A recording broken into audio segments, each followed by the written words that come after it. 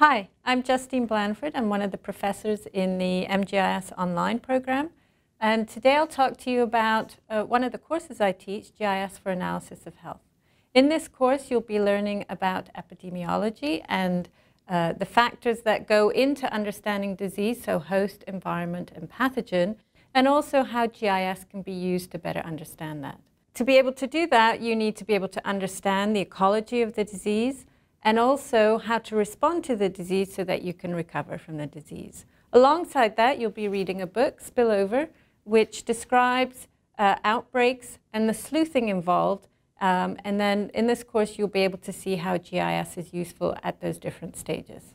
So come and enter the GIS world and see you in the class.